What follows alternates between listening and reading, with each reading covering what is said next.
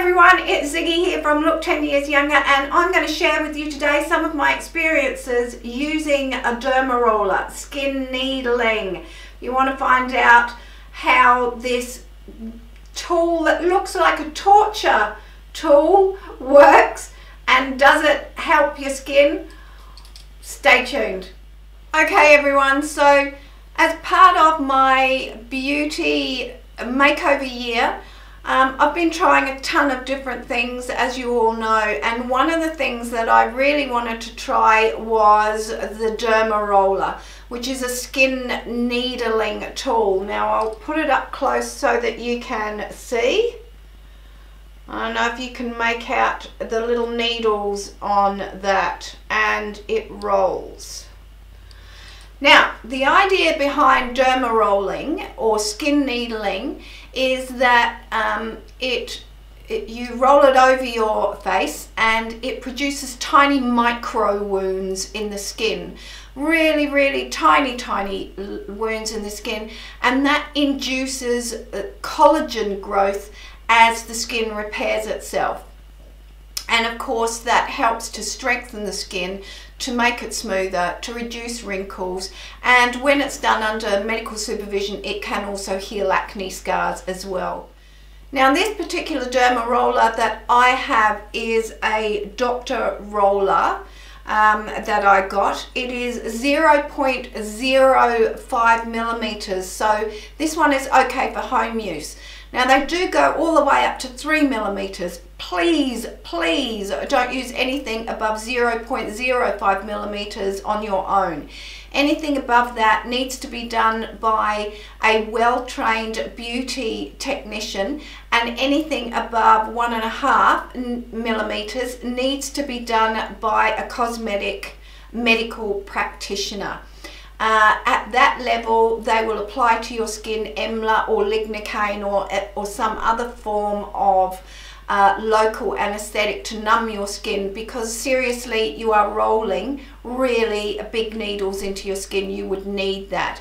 You would also need the degree of infection control and care uh, that can only be provided by a medical practitioner uh, at that level. But for home use let's talk about home use. This is the 0.05 as I mentioned so it's okay for home use and what I'm going to do in um, a moment is take all of my makeup off and I'll just kind of show you how I do it. I'm not going to do the whole thing because it would take five minutes to do that um, and it, you know that's as boring as bat droppings me just sitting here doing this um, but I'll show you how that's done in a little while.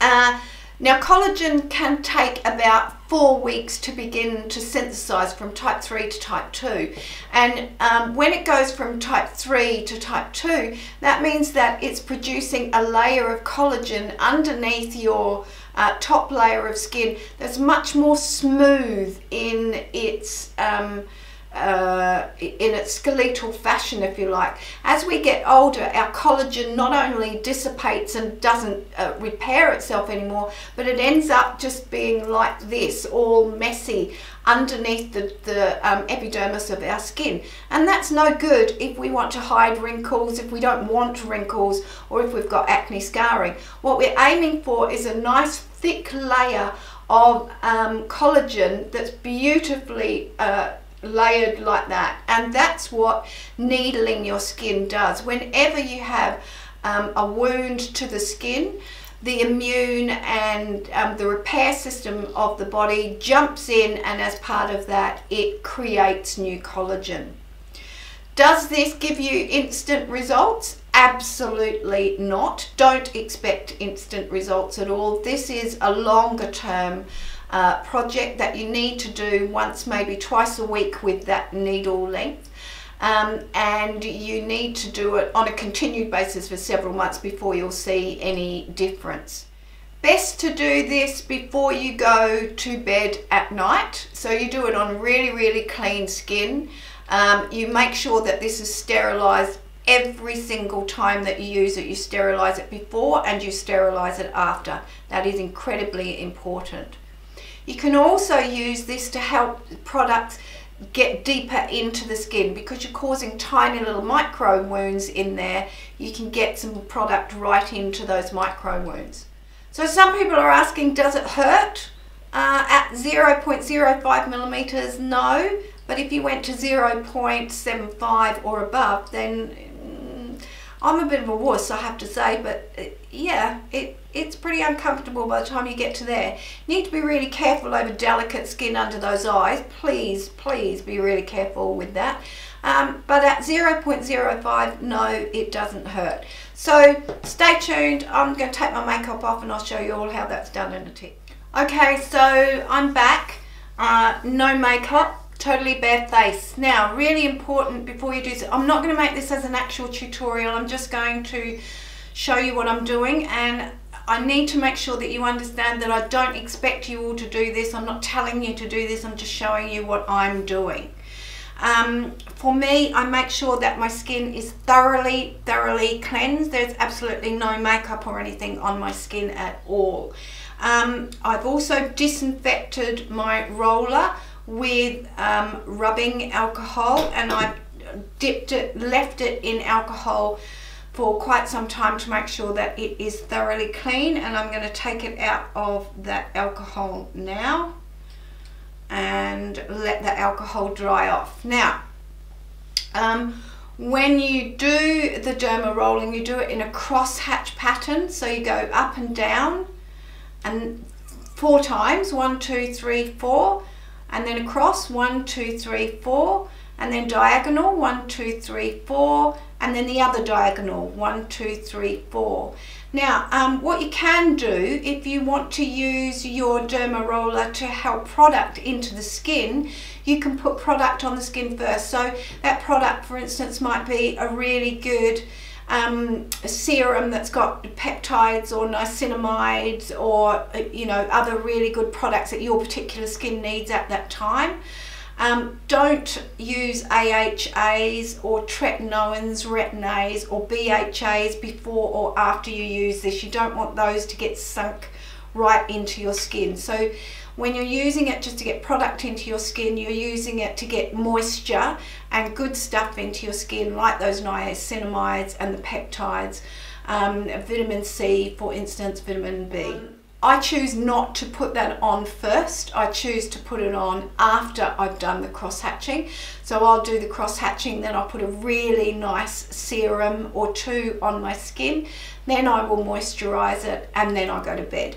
So um, I'll show you what I do here. I've got my mirror here, so I'm going to be going in that using the mirror and I'm going to start off here and I go one, two, three, four. One, two, three, four. One, two, three, four. One, two, three, four. Diagonally. One, two, three, four. One, two, three, four. One, two, three, four. One, two, three, four. And literally you just do that all across your face. Takes about five or ten minutes or so.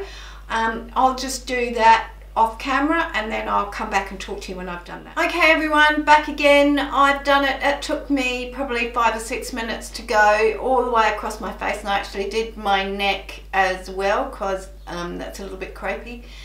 Um, how does it feel right now? It feels hot. Feels a little bit like it does sometimes when you've got um, a little bit of a sun tan you know, maybe you've slightly burnt your skin a little bit, so it feels a little bit warm. Um, but other than that, it's it's not painful or anything at all. It's uncomfortable to do the roller, particularly over bony areas. You know, um, here I find here a little bit uncomfortable, but it's more slightly itchy than um, uh, that. It doesn't hurt. Um, so now I'm going to put some serum into my skin. I'm going to moisturize it and then I'll leave it for the night. Now, some of you might be asking, have I seen a difference yet? Well, it's way too early to tell. This is only the second time I've actually ever done it. Uh, so I've done it twice this week and I'll do it twice a week for the next um, eight weeks or so and we'll see if it makes a difference. So stay tuned and I'll tell you then. So thanks for watching. I'll let you know how it goes. Until then, please don't forget to hit that subscribe button down there and also the like button. And um, I'd love to hear from you about whether you've done skin needling, derma rolling. Please comment below and tell me what your experiences have been with this as well. So I look forward to seeing you in my next video. So until then, take care. Bye for now.